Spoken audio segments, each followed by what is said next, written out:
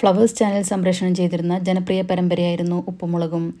സാധാരണ പരമ്പരകളിൽ നിന്നും ഏറെ വ്യത്യസ്തമായി ഒരു കുടുംബത്തിൽ നടക്കുന്ന ദൈനംദിന കാര്യങ്ങളെ നർമ്മത്തിൽ ചാലിച്ച് അവതരിപ്പിച്ചതിനാൽ ജനഹൃദയങ്ങളിൽ പെട്ടെന്ന് വളർന്ന് പന്തലിച്ച ഒരു പരമ്പരയായിരുന്നു ഇത്.